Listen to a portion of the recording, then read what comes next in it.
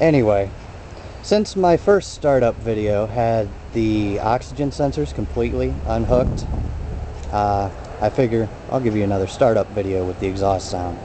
Rev it a little. So, here we go.